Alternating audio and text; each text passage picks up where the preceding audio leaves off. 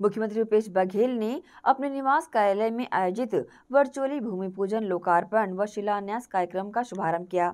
इस दौरान उन्होंने लोक निर्माण विभाग, अपेक्स बैंक, ऊर्जा, उच्च शिक्षा सहित अन्य विभागों के विभिन्न विकास कार्यों सहित राजधानी नई दिल्ली के द्वारका में नवनिर्मित छत्तीसगढ़ निवास का वर्चुअल शुभारंभ किया। छत्तीसगढ़ वासियों को राजधानी दिल्ली में नया भवन 60 करोड़ 42 लाख रुपए की लागत से बना है। नवनिर्मित छत्तीसगढ़ निवास सभी अत्याधुनिक सुविधाओं से सुसज्जित है।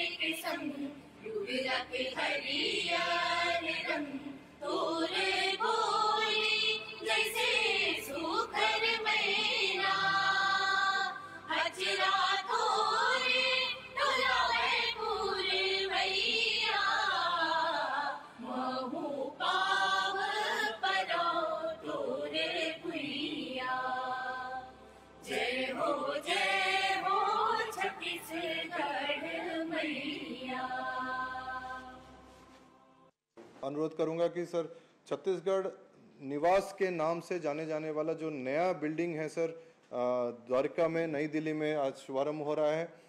उसके बारे में सर उसका लाइव प्रसारण आप देख रहे हैं सर। अगर रूबरू होना चाहेंगे तो वहाँ रूबरू भी हो सकते हैं सर। आपका मैं अनुरोध करूँगा माननीय मुख्यमंत्री जी से कि इसका बटन दबाकर शुभारंभ करें सर।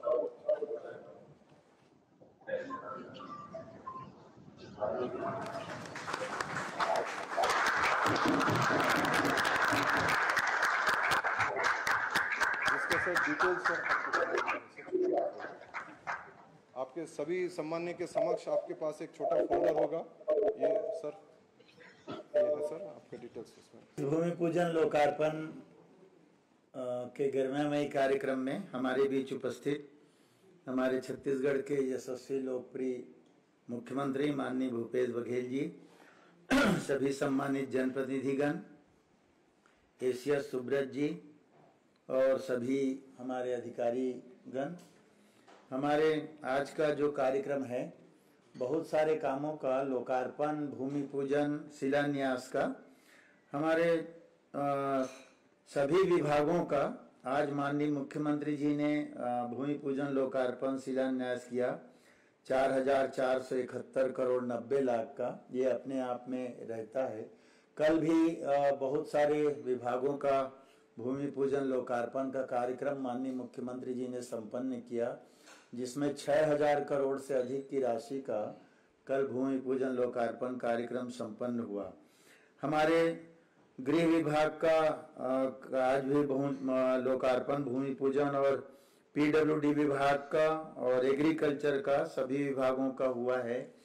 पीडब्ल्यूडी डिपार्टमेंट का सबसे बड़ा बड़ा जो कार्यक्रम है, सात जगह जहाँ अभी जा करके किया जाना है जी रोड शारदा चौक का चौड़ीकरण का। मात्र 510 मीटर चौड़ीकरण करना है, लेकिन राशि इसमें लगनी है 134 करोड़ करीब। ये सबसे बड़ी बात है। जगह कम। ठीक है सभी जिलों में जाकर सभी स्थल पे जाकर भूमि पूजन और लोकार्पण करने की लेकिन काम इतने अधिक हैं और समय इतना कम है कि हम लोग लोकार्पण भूमि कर, पूजन करने जाएँ तो समय बहुत लगेगा। और सामने में अब अक्टूबर के महीने में कभी भी आचार संहिता लग भी सकता है। बहुत कोशिश भी हम लोगों ने किया कि अन्य ज़िले में गए भी, लेकिन अब समयाभाव को देखते हुए कल से लोकार्पण, भूमि पूजन का कार्यक्रम हम लोगों ने वर्चुअली शुरू किया। इस कार्यक्रम के माध्यम से प्रदेश को एक बार फिर से नए विकास कार्यों की सौगात दी जा रही है।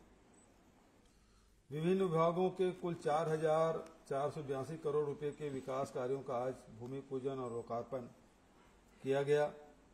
कल भी हमने छह हज़ार अस्सी करोड़ रुपए के विकास कार्यों का लोकार्पण और भूमि पूजन किया था।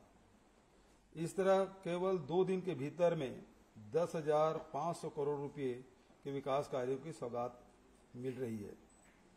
इसके अलावा आज रायपुर में एक हज़ार इक्कीस करोड़ उनसठ लाख रुपए के विकास कार्यों की सौगात दी जानी है, जिसमें हम लोग अभी गृह मंत्री जी के साथ जाएँगे। तो कुल मिला के आंकड़े हैं दो दिन का ग्यारह हज़ार पाँच सौ तिरासी करोड़ रुपया। यदि पिछले तीन महीने की बात की जाए तो इन तीन महीनों में बस्तर से लेकर सरगुजा तक छत्तीस हज़ार करोड़ से अधिक की राशि का विकास कार्यों का लोकार्पण और भूमि पूजन किया गया। इस कार्यक्रम के माध्यम से 16 विभागों के सत्ताईस सौ अठारह कार्यों के भूमि पूजन, लोकार्पण और शिलान्यास किया जा रहा है। दो हज़ार तीन सौ बहत्तर करोड़ रुपए के एक कार्यों का भूमि पूजन, सत्रह सौ ग्यारह करोड़ रुपए के और पंद्रह सौ बत्तीस कार्यों का लोकार्पण और तीन करोड़ रुपए चौसठ लाख रुपए का शिलान्यास इस कार्यक्रम में शामिल है। इसमें अपेक्स बैंक है, ऊर्जा विभाग है, उच्च शिक्षा विभाग, गृह विभाग क्रीड़ा आवास एवं पर्यावरण, लोक स्वास्थ्य यांत्रिकी विभाग चिकित्सा शिक्षा विभाग, प्रधानमंत्री ग्रामीण सड़क योजना, लोक निर्माण विभाग, रायपुर स्मार्ट सिटी लिमिटेड, परिवहन विभाग, अनुसूचित जनजाति विभाग, Chhattisgarh state industrial development corporation, department of agriculture and technology तथा वन एवं जलवायु परिवर्तन विभाग के नए कार्यों को आज इस कार्यक्रम में शामिल किया गया। ये सभी कार्य ऐसे अधोसंरचनाओं के निर्माण से संबंधित है जो जन सुविधाओं को बेहतर बनाएँगे। इन कार्यों का सीधा संबंध हमारे आर्थिक विकास से भी है। पिछले, पिछली सरकार के 15 साल के कार्यकाल में राज्य के अधोसंरचना निर्माण और सामाजिक आर्थिक सशक्तिकरण की दिशा इतने कार्य नहीं हुए जितने हमारे सरकार ने केवल पाँच वर्ष के में कर दिखाया है। राज्य के किसानों, मजदूरों, ग्रामीण ग्रामीणों और महिलाओं के कल्याण के लिए विभिन्न न्याय योजना का संचालन किया जा रहा है। इन न्याय योजनाओं के माध्यम से पौने दो लाख करोड़ रुपए सीधे किसानों, मजदूरों, ग्रामीण, ग्रामीणों और महिलाओं के बैंक खातों में अंतरित किए गए हैं। हमने शिक्षा, स्वास्थ्य, पेयजल, बिजली और लोक प्रशासन जैसे क्षेत्रों में भी उपलब्धियों की ऊंचाइयाँ स्थापित की है। नई दिल्ली के द्वारका के सेक्टर में बने छत्तीसगढ़ निवास का उद्घाटन भी इस कार्यक्रम में किया गया। छत्तीसगढ़ निवास भवन द्वारका नई दिल्ली के कुल लागत लगभग 60 करोड़ बयालीस लाख रुपए हैं। भवन में इकसठ कमरे हैं और तेरह सूट हैं। यह भवन आधुनिकतम सुविधाओं से सुसज्जित है। सरकारी अथवा निजी काम से दिल्ली जाने वाले छत्तीसगढ़ वासियों की सुविधा के लिए इस भवन का निर्माण किया गया। इलाज के लिए दिल्ली जाने वाले मरीजों और उनके परिजनों को भी इस भवन के बन जाने से रुकने, ठहरने की सुविधा होगी। छत्तीसगढ़ शासन के दो भवनों, दो भवन पहले से ही दिल्ली में हैं, लेकिन आधुनिक छत्तीसगढ़ की बढ़ती हुई आवश्यकता को देखते हुए इस तीसरे भवन की भी ज़रूरत महसूस की जा रही थी। मैं आप सभी को इस नए विकास कार्यों के लिए बधाई देता हूँ, शुभकामनाएँ देता हूँ। धन्यवाद, जय हिंद, जय छत्तीसगढ़। बहुत बहुत धन्यवाद सर। कार्यक्रम समापन के ठीक पहले मैं जितने